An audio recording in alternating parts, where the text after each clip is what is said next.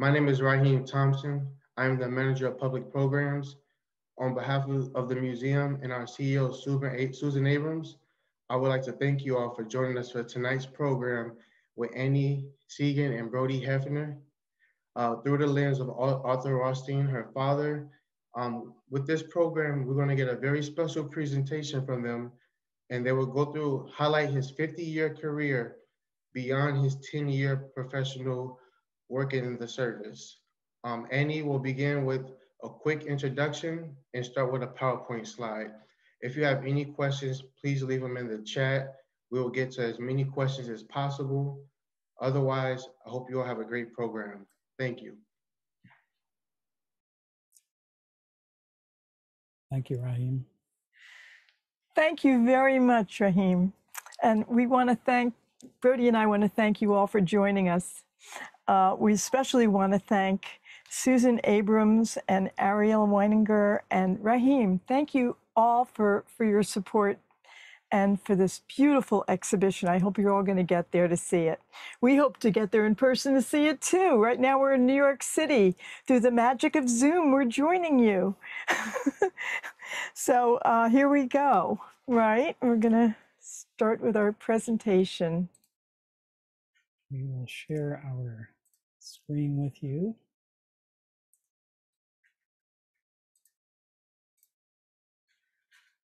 And begin the presentation. Here we go. I can't see that.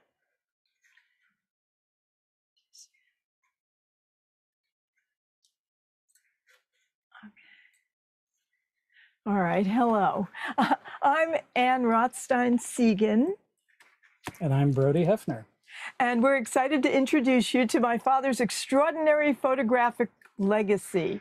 Dad's photo essay of the Shanghai Jewish community produced over just a few days during Passover in the spring of 1946 was more than just the coincidence of a photographer finding himself in the right place at the right time. You see, by 1946, Arthur had been refining the craft of creating picture stories for quite some time. So today I'll share his story with you through Dad's favorite mode of communicating ideas, picture stories.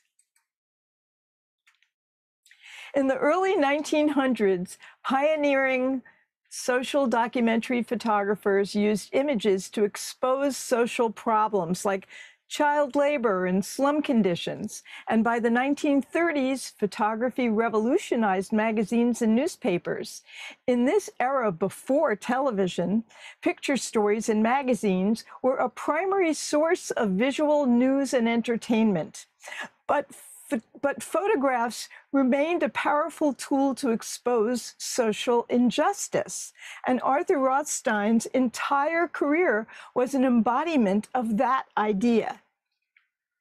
My father studied the work of the pioneers of social documentary photography. Then, through a series of events I'll tell you about in a minute, he began his photography career as a social documentary photographer.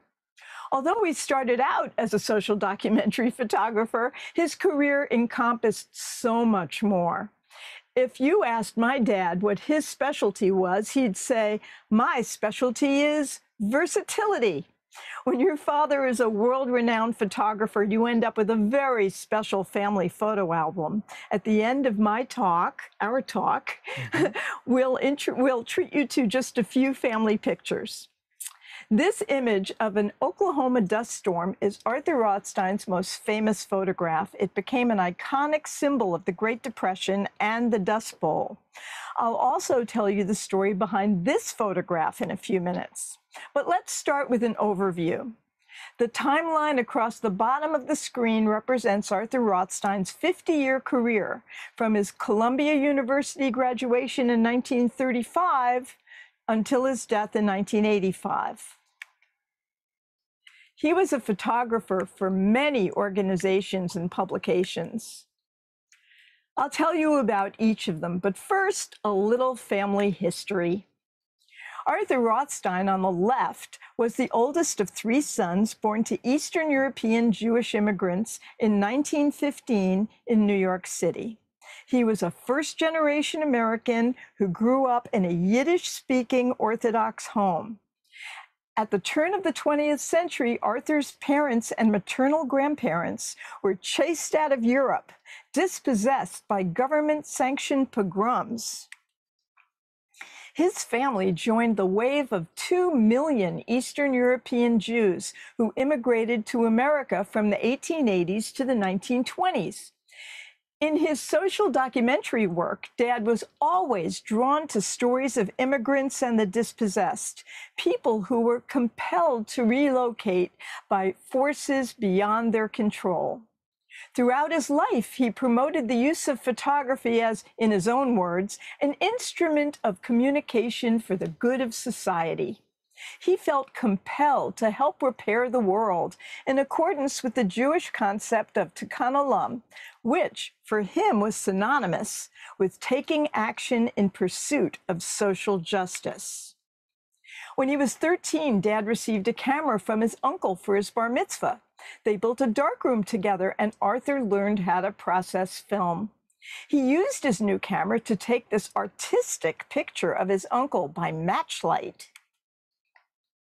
My father credited his education and he, my father credited his education at PS 45, a middle school in the Bronx, with much of his practical know how. The principal, Angelo Patri, was a student of John Dewey and an advocate of learning by doing. Patri believed that everyone should know how to work with their hands. So in middle school, Arthur learned how to print and bind books, how to do mechanical drawing, plumbing, electrical work, and basic carpentry. In June of 1931, at age 15, he graduated from Stuyvesant High School in New York City. That's him, right here, front and center. In those days, boys younger than 16 wore short pants, not trousers. In the fall of 1931, at age 16, Dad entered Columbia University. At Columbia, he set up the University Camera Club. Here's a picture of the club members sitting on the newly opened George Washington Bridge. During, oh, here he is. There's Dad right there. Hi, Dad. During college, Arthur earned extra money making photocopies. There was no such thing as digital photography or copy machines back then. If you wanted a copy of a document or an image, you took a you took a picture with your camera. And it's funny, many people nowadays have absolutely no idea what a darkroom is or the work required to develop and print pictures from film. And I'll tell you a little more now. Me- meanwhile, in 1932, Franklin D. Roosevelt won his first presidential bid by promising the, to end the profound misery being caused by the Great Depression. He implemented the New Deal, a series of federal programs enacted in response to the Great Depression. One of FDR's New Deal programs was the Resettlement Administration, an agency that assisted displaced farmers and industrial workers with grants, loans, and housing. At Columbia, Arthur had made photographs the old fashioned way for one of his professors, Roy Stryker. In 1935, Stryker was, Stryker was recruited by FDR to promote the Resettlement Administration. Stryker believed that the best way to promote the agency's programs was to provide visual evidence that Americans needed assistance from their government. He sent for Arthur to help set up the photo unit right after his graduation of in 1935. With this job in Stryker's photo unit, Arthur began a very productive decade of government service. Over the eight years of the program during which he worked in the photo unit for Roy Stryker, more than a dozen photographers worked there, including five women. The photo unit provided free of charge to newspapers and magazines uh, images of all kinds. It also used photographs in its own promotional materials this poster is a typical example of how Stryker used photographs to promote resettlement administration projects and programs. And you can see the, the photos labeled as to the different programs across the top and the bottom. Despite his excellent education, Arthur had not traveled outside of the New York City area. He was a city kid and only learned how to drive when he got hired in Washington. He spent much of the next seven years driving around the United States on photo assignments that could last for weeks or months. Dad traveled with several cameras and lots of film and equipment. He often slept in his car, so he had a sleeping bag, a portable stove, and a coffee maker. There was no interstate highway system back then. Dad often drove down dirt roads, so he had an axe to chop down trees that got in the way and a shovel to dig himself out of snow or mud. In the fall of 1935, Stryker gave Arthur one of his first big assignments. In the hills of Virginia, hundreds of families were being relocated out of what would soon become Shenandoah National Park, the first national park in the eastern United States. In the parkland, high up in isolated mountain hollows, families were living in primitive conditions. In Shenandoah, Arthur would create a picture story illustrating a way of life that would soon be gone forever. In response to the picture story, the federal government constructed clusters of homes in the foothills just below the park for the displaced farm families. The displacement and relocation of families from Shenandoah National Park was covered by newspapers and magazines across the country. This was a typical example of how the photo unit's images were used. Now I will return to the story of my father's most famous photograph. When this picture was made in April of 1936, America was in the depths of the Great Depression. But one of the biggest stories of the time was the severe drought in the windswept part of the country that became known as the Dust Bowl.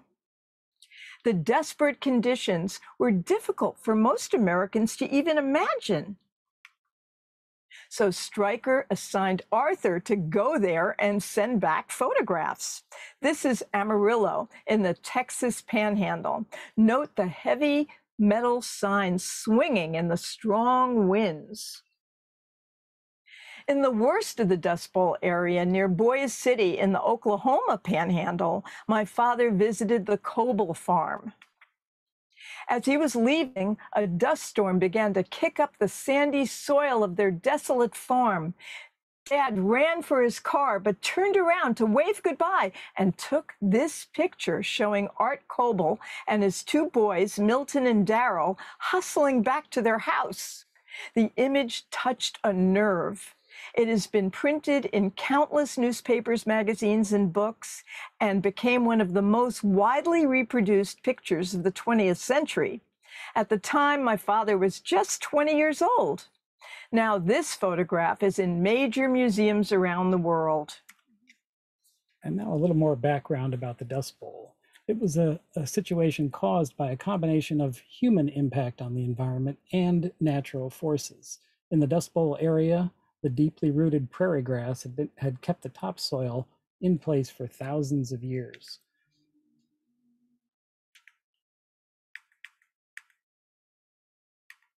But during the 1920s and early 30s, the soil was churned with gang plows like this one. Millions of acres of drought-resistant prairie grass were replaced with vast fields of wheat. In the rush to plant wheat, almost no attempt was made to prevent soil erosion. At the same time, a widespread and persistent drought, much like today actually, was co ah. concentrated in the Great Plains. The worst conditions were in the Texas and Oklahoma panhandles and neighboring states. This is a very flat and windy part of the country. The combination of strong winds, exposed soil, and significant drought produced black blizzards. They carried millions of tons of stinging, blinding dirt across the Great Plains and across the nation. Dust would swirl through the air, suffocating people and livestock with dust pneumonia. The title of this photograph by Arthur Rothstein is Dust Storm Over the Panhandle and the Town of Amarillo, Texas, 1936. That car is being chased by an enormous dust storm cloud. Thousands of ruined farmers and ranchers had to sell or abandon their land in the Dust Bowl area. and their starving livestock. Farm animals had no grass to graze on. All that was left for many of the families of the Great Plains were failed crops, repossessed farms, and the very real possibility of starvation. Those were the desperate conditions that Arthur Rothstein's photographs conveyed to people in other parts of the country. There was another facet to the Dust Bowl story. All across the Great Plains, families pulled up stakes and relocated in search of work and greener pastures, like this farmer relocating his goods in Tennessee. This map shows the major westward migration routes from the Great Plains to California, Washington, and Oregon. This saga was made famous at the time in real time by John Steinbeck's novel, The Grapes of Wrath, and the movie version of the story starring Henry Fonda. Arthur's coverage of the plight and migration of farmers from the Dust Bowl inspired John Steinbeck while he was writing The Grapes of Wrath. The title of this photograph is Family Forced to Move by Drought, South Dakota, 1936. Hundreds of thousands left the Great Plains states. This is Vernon Evans of Lemmon, South Dakota. Dad photographed him near Missoula, Montana on Highway 10. He and his family had left their farm, which was in a grasshopper ridden and drought stricken area, for a new start in Oregon. En route, they lived in a tent and covered about 200 miles a day in their Model T Ford. In this photograph, my father captures the heartfelt gratitude of a North Dakota farmer and his son who are thanking President Roosevelt for their farm loan. In 1937, Stryker's photo unit merged into the Farm Security Administration at the Department of Agriculture and was known thereafter as the FSA Photo Unit. The FSA photo unit continued to produce important photo essays about difficulties faced by Americans during the Depression.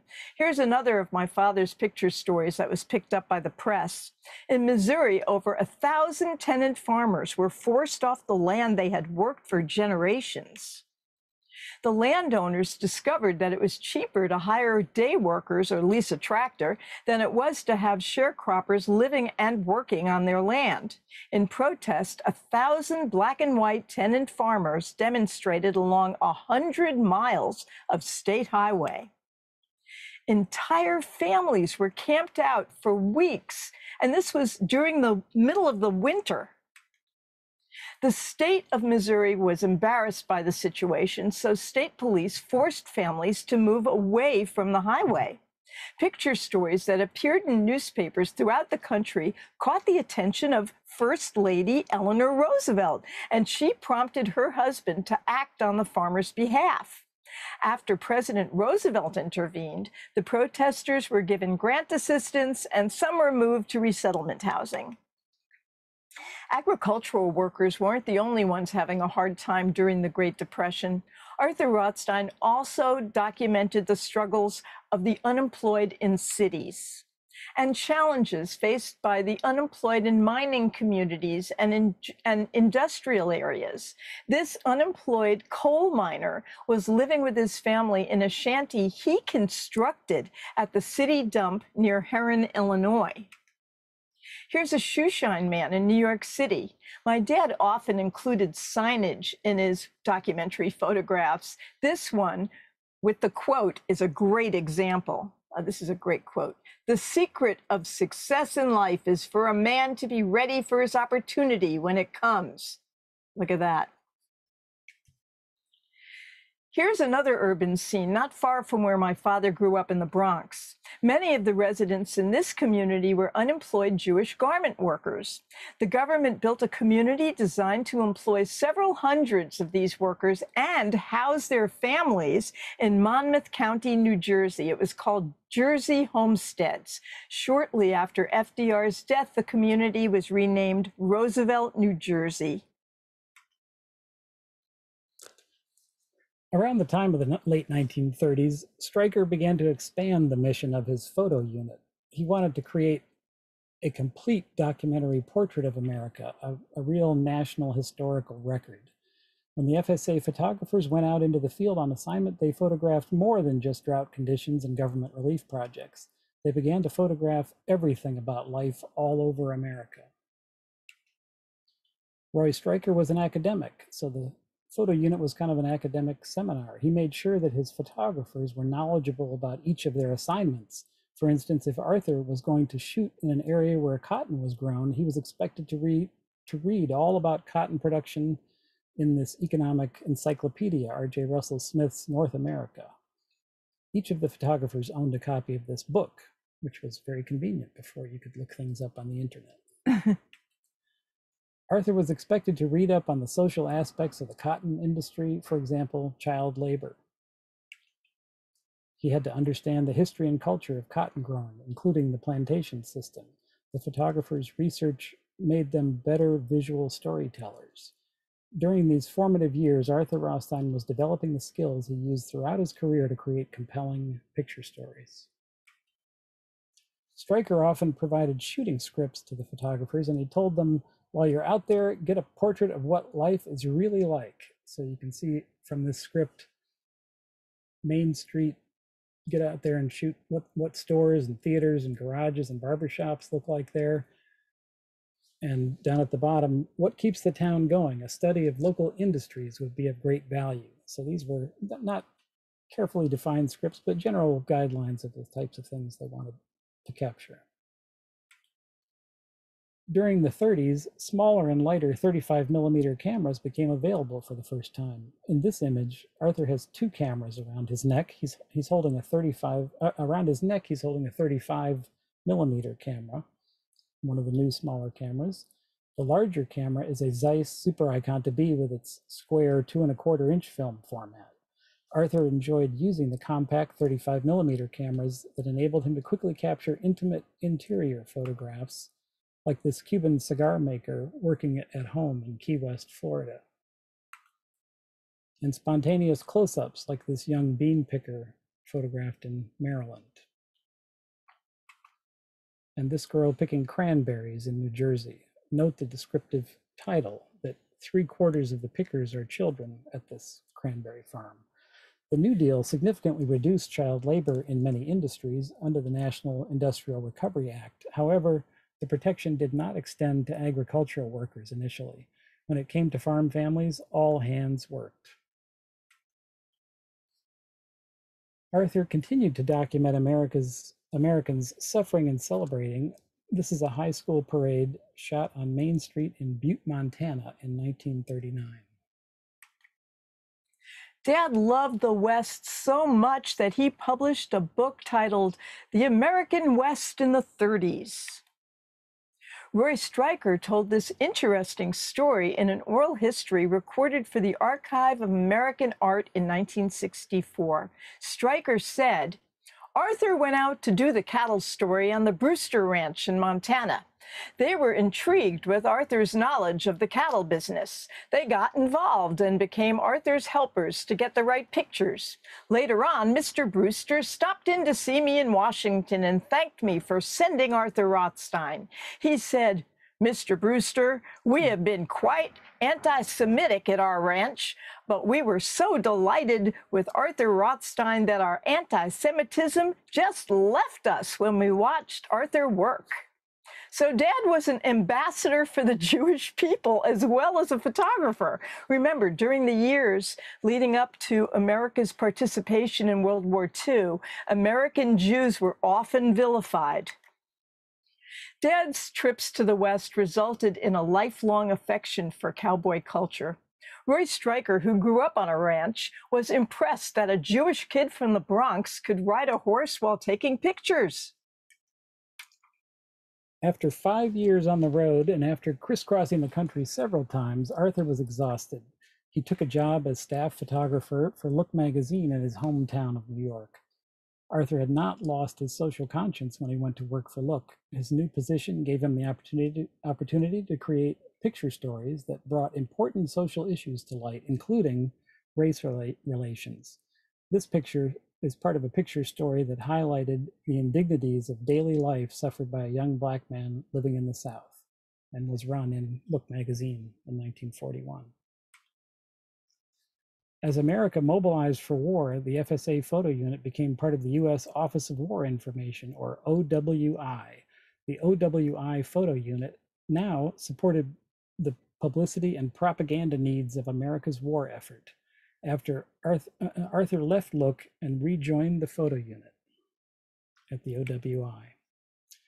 This enormous World War II display promoted defense bonds. It was initially in, it was installed in Grand Central Terminal in New York. The display incorporated several of Arthur's photographs to create an emotional impact on the public.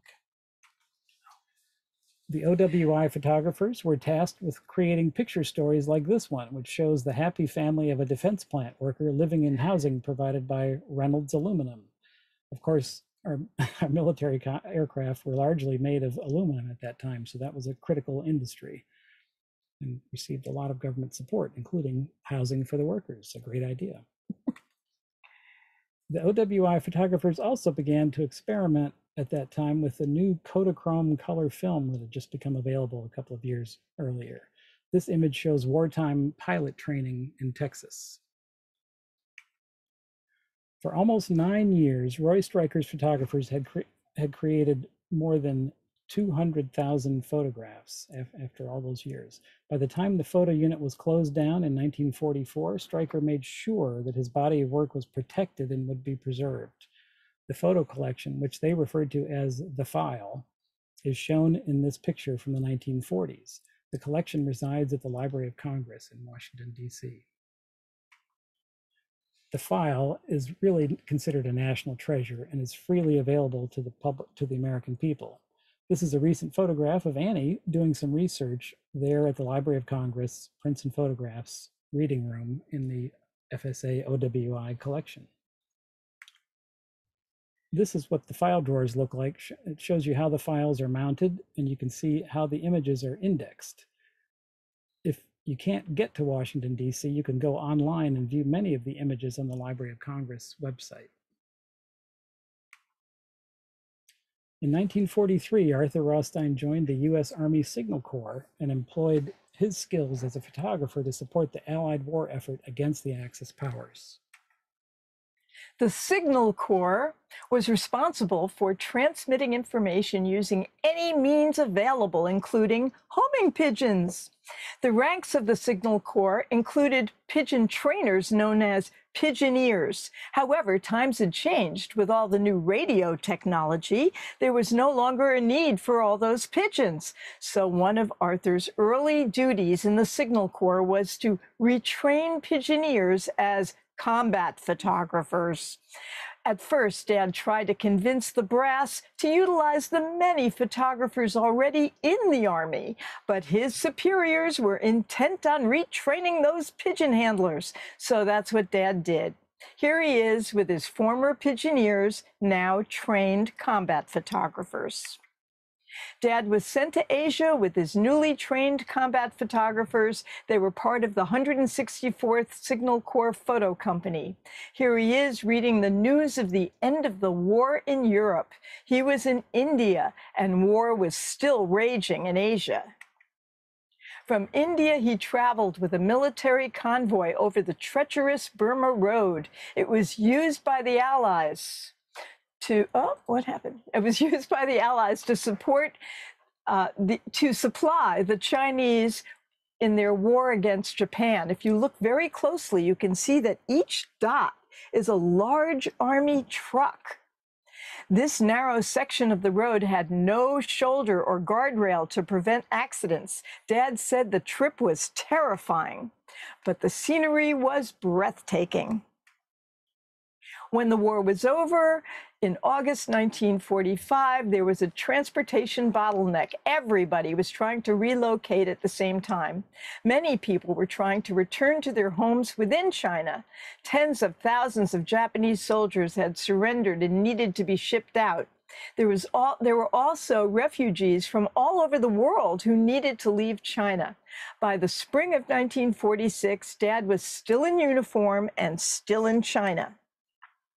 So he took a short three month assignment as chief photographer in China for the United Nations Relief and Rehabilitation Administration, known as UNRRA.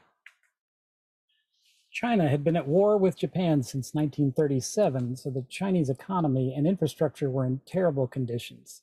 UNRRA had committed $600 million to help China recover, an enormous project. The war had disrupted food production, so millions were suffering famine. China needed to help needed help to rebuild, to feed starving people, and to relocate all those displaced by war. UNRRA provided vital equipment, including 2,000 tractors. This was the type of documentary photography assignment that Arthur had a lot of experience with from his years with the FSA photo unit. On behalf of UNRRA, Dad traveled extensively in China documenting, Annie's dad traveled extensively in China doc, documenting the famine. As he did for the FSA, Arthur photographed relief efforts. This picture shows the distribution of rice paid for by UNRRA. Hmm. Arthur Rothstein also was also documenting the agency's assistance to displaced people. UNRRA had a special responsibility to help the community of stateless European Jews now stranded in Shanghai after the war. Arthur created a portrait of that community, which is the focus of the exhibition now at the Illinois Holocaust Museum and Education Center. You'll learn all about that extraordinary story in the exhibition at the museum, but in brief, here's why those refugees were in Shanghai.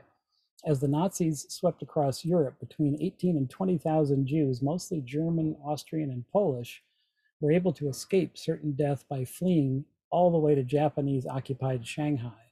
At that time, Shanghai was one of the few places in the world where you could enter without a passport or visa. Most traveled to Shanghai along one of the two routes shown on the map, either a month long steamship journey or via the Trans Siberian Railroad, and then by ship to Japan, and finally another ship trip to Shanghai. Arthur visited the community in Shanghai during Passover, and the pictures he took depict the daily existence of the refugees. At the bottom right corner of this photograph, you'll see a box of matzah. This was supplied by one of the Jewish relief agencies that helped the stranded European refugees in coordination with UNRRA. This couple is cooking matzah balls on a Chinese fire pot fueled by charcoal briquettes. She is fanning the coals by hand to generate enough heat. Although the war was over, Arthur found destitute refugees still living in the same dismal, crowded conditions they had endured during the war. The majority of Jewish refugees in Shanghai managed to survive despite disease, hunger, and the chaotic wartime economy. In this picture, note the signage. It indicates that one office space was shared by several Jewish doctors in Shanghai. News arrived slowly to Shanghai. In Europe, Hitler's death camps had been discovered as the war ended. Now, relief agencies, including UNRRA, were attempting to reunite survivors with their families. In this poignant photograph, Jewish refugees in Shanghai searched lists of concentration camp survivors posted by relief agencies hoping to find missing family members. Meanwhile, the Chinese Civil War, pitting, pitting the nationalists against the communists, was escalating, and the war would soon reach Shanghai itself. The Chinese authorities had taken Shanghai back from Japanese military control, but life was still not settled for the European refugees. There was mounting pressure encouraging all non-Chinese to leave the country. What happened? This is the last photo from the exhibition that we're going to share today. We encourage you to get over to the museum and see the full exhibition. Here are a dozen anxious Jewish refugees sorting a pile of incoming mail. An envelope might contain information about a loved one's fate, a resettlement opportunity, or the documents needed to depart China. The refugees' lives were on hold, just like the lives of millions of refugees throughout the world today. Once again, Arthur Rothstein was using his camera to tell the story of dispossessed people with sensitivity and empathy. While working for UNRRA, Dad captured a portrait of the daily life in China. He had this view of the Garden Bridge from his office window in Shanghai. He showed how people were earning a living after the war. Here are some musicians. This is the genteel proprietor of a curio shop. He captured the bustling waterfront by the famous Bund in Shanghai. After his assignment with UNRRA was completed, he returned to New York City and Look magazine. He served as chief photographer and technical director of photography at Look for the next 25 years until the magazine ceased to print in 1971. The very weekend he returned home, Dad met mom, Grace Goodman. They had a lot in common and wasted no time getting married. This was the golden age of magazine photography. Look was about people, culture, and the news of the week. Picture stories enjoyed enormous circulation in the era before TV. They were the primary source for news and entertainment. For the next 25 years, Arthur Rothstein created picture stories on topics from medicine to fashion to food he obviously shot in color as well as in black and white. Arthur photographed many celebrities. This is the artist Salvador Dali. And here's a celebrity wedding. This is the receiving line at the wedding of actor Tony Curtis on the left and the actress Janet Leigh. The other fellow is comedian Jerry Lewis, who one can only imagine asked Tony, May I kiss the bride? He did a story on skyscrapers and took this unusual shot of a construction worker. See the Empire State Building behind him? There's a Look magazine archive maintained at the Museum of the City of New York. It contains thousands of Dad's New York City pictures. You can view many of them online. Dad was extremely grateful for his career and he made every effort to give back to the photography community. During his lifetime, it seemed like he knew everyone and everyone knew him.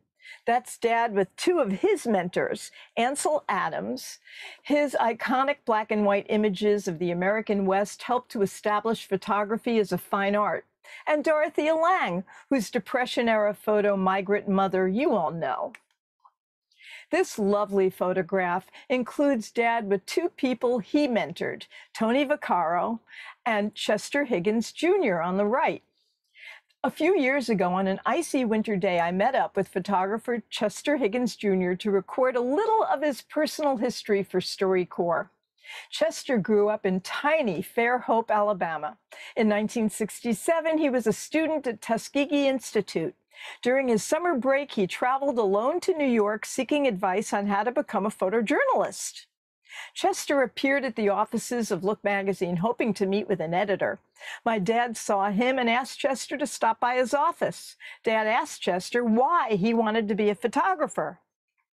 And Chester explained that he was profoundly disturbed by the absence of positive images of his people in popular media, and he hoped to change that. Dad was impressed by Chester's mission and his chutzpah. All summer long, Dad fed him film, sent him out to take pictures, analyzed the pictures, and introduced Chester to museums and art galleries that opened his eyes to art history.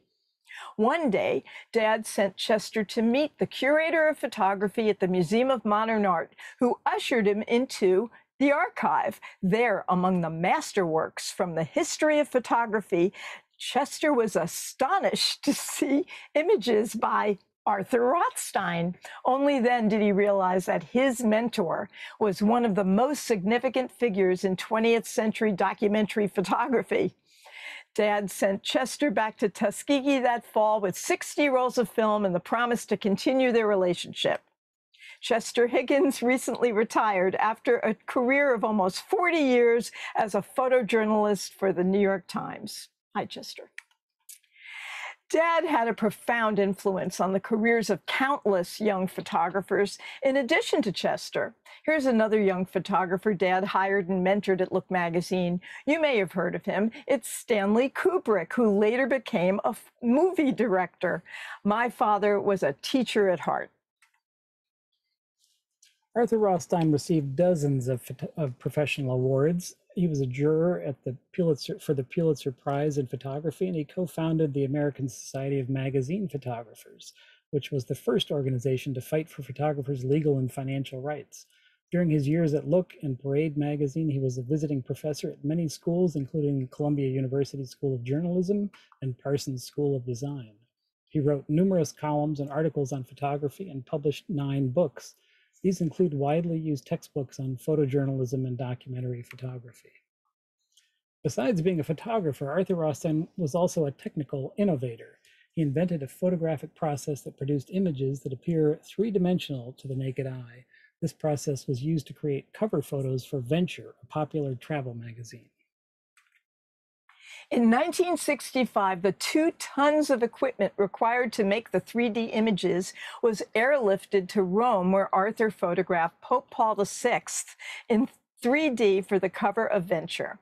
Dad told me that the Pope all dressed up in his papal regalia, jumped up on the flatbed truck that held the equipment to examine the camera. And then he kept all the, the Polaroids that Dad took to set up the shot.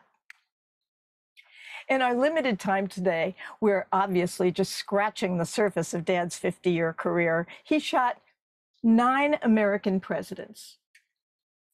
After dad photographed, oh, when dad photographed President Gerald Ford in the White House in 1974, he was surprised to see a white band aid on the president's thumb. President Ford told dad that he had cut his right thumb opening a can of tobacco. The president was actually an excellent athlete, a skier, very well coordinated, not the klutz the media made him out to be. Anyone can have an accident. Arthur didn't want the conspicuous white band aid featured in his presidential portrait, so he asked President Ford if he could please send out to the corner drugstore for a flesh colored band aid. The president replied that he got all of his medical supplies for free from the Navy, and the Navy used white band aids. After Look magazine ceased to print in 1971, Arthur took a job at Parade, the most widely read magazine in America, with a circulation of 32 million copies distributed in 750 newspapers each week. He remained there as photo editor until his death in 1985. For this cover, Dad had a little fun using himself as the model. I'm coming to the end of my talk, but before I show you a few photographs from the family photo album, I want to share with you the remarkable chain of events that led to the rediscovery of all those pictures he shot for UNRRA in China, during, including the picture story of the stateless Jewish refugees. One of my dad's early assignments at Parade was to photograph Kurt Waldheim for a cover story. This was in 1973. Herr Waldheim who would later become president of Austria, had just been elected Secretary General of the United Nations. In 1973, it had not yet been revealed that Waldheim lied about his collaboration with the Nazi regime. Arthur was trying to get Waldheim to relax and smile for his family portrait. So he made small talk. He said, I used to work for your outfit. Waldheim replied, What outfit? Arthur explained, I worked for the United Nations Relief Agency in China. You can only imagine Waldheim's relief. Dad said that before returning to the United States in 1946, he placed his UN photographs in a metal file box for shipment home by the UN. But unfortunately, the box was lost. Dad told Waldheim that he had been searching for his lost pictures for 25 years, and Waldheim replied, Perhaps I can help you, Arthur. A week later, Dad received a note directing him to a UN archive warehouse in Queens. With some excavating, he located his dusty but unopened file box. The photographs inside were in pristine condition, and Waldheim invited Arthur, invited Dad to have an exhibition of the China photographs at the UN. Finally, I will now share a small selection of pictures from our family photo albums. We took a lot of well-documented vacations, and my father wasn't the only my father wasn't the only photographer in the family, let me tell you. My mom, Grace, did some commercial photography and ran a busy portrait studio. For several years, she was the official photographer for the city of New Rochelle, where we lived. When my three siblings and I were children, our lives were filled with picture stories. Mom and dad took lots of family photos. They often used us kids as professional models. Quick was a pocket sized weekly magazine produced by the Look publishers. And when Look so, and when Quick celebrated its first year, so did I. And dad put me on the cover. My father's pictures were in almost every issue of Look magazine and even appeared in my social studies, and, and his pictures even appeared in my social studies textbooks at school. We would often see photographs by mom or dad as print advertisements in magazines and on billboards, sometimes including me and my siblings. Hey, that's me. Here's another example. Me and my older brother demonstrating Easy Pop, the prototype for Jiffy Pop popcorn. When I think about our unusual family albums, I'm reminded of my favorite scene from the Mad Men television series. Mad Men, of course, is about the advertising business in the 1960s. The picture magazines like Look, Life, and the Saturday Evening Post were driven by advertising, so I could totally relate to Mad Men. In my favorite scene, advertising executive Don Draper is pitching an ad campaign to Kodak for their new slide projector that looked like this. Of course, this is what we all use to share our picture stories before Facebook and Instagram. The Kodak guys wanted to emphasize the, pro- the projector's space age technology, and they wanted to call it the wheel.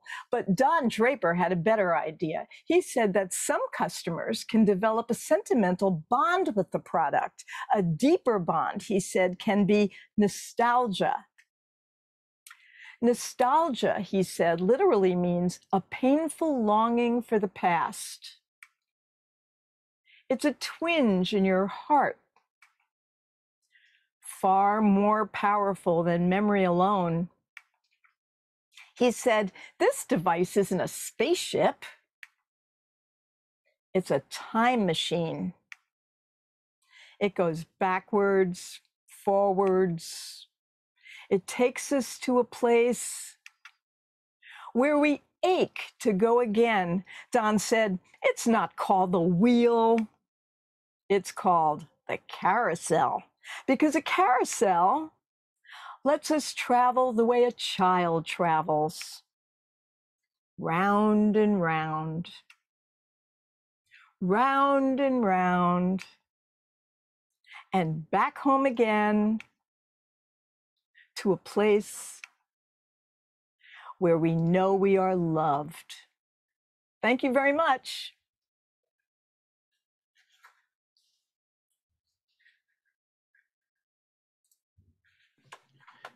Thank you, Annie and Brodie. Um, thank you for a great presentation.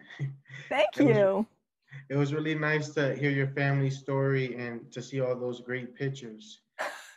All taken by dad. Yeah. And my mom took a few of those at the end. An extremely talented family. And uh, we, we don't have much time, but I wanted to um, ask, a couple, ask a couple questions. Sure. Um, and this is for, for you too, Brodie. Uh, what part of um, Arthur's work um, really inspired you? Well, of course, the Depression era work was uh, was always something that I was in awe of. But to be honest with you, I was very impressed by the by the the uh, pictures he took it uh, for Look magazine of celebrities. I was I love the idea that he knew all these people who we saw up on the screen. Yeah. What about you, Brodie? Well, I'm constantly amazed at the uh, the variety and the uh, artistic insights that he had. Uh, we're still exploring the thousands and thousands of photographs of the Library of Congress archives that are being beautifully digitized now, and it's a real delight to go through there and find images that just are little known and are really striking and should be more widely distributed. So that's been a real a real joy for me. Yeah, and someone in the audience was wondering, um, did Arthur keep in touch with the re- with the rest of his life with the Shanghai refugees um, that he worked with? Uh, you know, he did not have anything to do with the Shanghai refugees. Um, not not much. He had a couple of shows before he passed away of those pictures in New York City, but uh, and and of course the one in in uh, at the UN in 1974. But uh, but my mother had a relationship with the that group of people. They they they called themselves the Shang. What they called themselves? Shanghailanders. The Shanghai. What was it? Shanghailanders. And... Shanghai. Landers. They had a group, like a club, and they and my mom was welcomed into that group and and made a couple of presentations of Dad's photographs. Nice. And um, could you talk? Could you share a little bit more about his um, Shanghai experience? Because I know the bulk of the presentation you wanted to kind of get away from that to actually share most of his other work, rightfully so, because a lot of that can get lost. But uh, some people in our audience are wondering about some of the Shanghai stories. Are you able to share some of those or even some of the pictures quickly? Uh, we don't have any more of the pictures right at our fingertips here, but um, I think it's important to note that the United Nations Relief and Rehabilitation Agency was a, uh, a initially started as a predecessor agency to the UN. Uh, so it existed before the UN itself existed, although the UN had come into existence by 46. And the UNRRA was directed by Fiorello LaGuardia from New York. And um, so there was kind of a New York connection to the whole exercise there. And it's, it's more widely known for its operation of displaced persons camps in Europe, but China was actually the largest single country effort of the of the agency. So it's a it's a little known, uh, enormous story of enormous effort and uh, and relief activities and the um, the work in Shanghai was carried out in close coordination with uh, the joint the, the, American Jewish Joint Distribution Committee and uh, other relief agencies that were instrumental. Each had their own roles in helping families there find out what their uh, opportunities were for immigration when they had to leave China, which they they did. Um, and mm-hmm. also, when the war ended, um, the U.S. Army supplied rations uh, to the community so that they could use those rations as ingredients uh, for community kitchens. Right. And in one of the kitchens in the show, there's a, uh, a, a courtyard kitchen where people are cooking communal meals. And we've been able to identify that some of the boxes that are beneath the table that are food boxes are actually U.S. government army ration boxes. Uh, so they were using those foods to, to cook traditional German and Austrian dishes uh, in, in the kitchen there after the war. Nice. And um, we're, we're almost out of time, but I wanted to leave the leave, uh, leave the floor with you all. But before I sign off, I just want to thank everyone in, in attendance for sticking with us. Again, we apologize for the delay at the start but I'm glad you all stuck with us, especially on this Thursday football night. And but we we really appreciate it. And if you have a moment, please take a second to fill out the survey in the chat.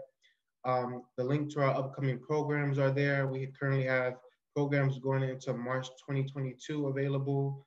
Um, there's something for everyone. So I hope to see you all at future programming. And also, if where can they continue to find work from you all and hear about Arthur or anything else? Is there anything you all working on or you have anything you would like to say to the audience? Well, we do have an Arthur Rothstein Legacy Project website and a Facebook page, which is very active, has almost 30,000 followers now. Um, so if you and you can find links to that through through our uh, Arthur Rothstein Legacy Project. And, and every week we publish a um, a picture story and place it on our website and on uh, face on our Facebook page using one of Dad's photographs. So ArthurRothstein.org is mm-hmm. the website. And, um, and the Arthur Rothstein Legacy Project is is how you would look it up on Facebook. All right. It was a pleasure having this presentation and working with you all leading up to the program. And I hope to work with you two again in the future. Again, thank you everyone in the audience. I thank really you everybody. You thank you, Rahim. Thank you for the opportunity thank to you. share this work and to have uh, to share it with some of the survivors in the in the uh, Skokie area who have contributed their their materials to Yes. the exhibition too. That's uh, really important and exciting for us. Important to honor those survivors. Absolutely. Yeah. All right. Have a great night, everyone. Good night. Thank you. Thank you.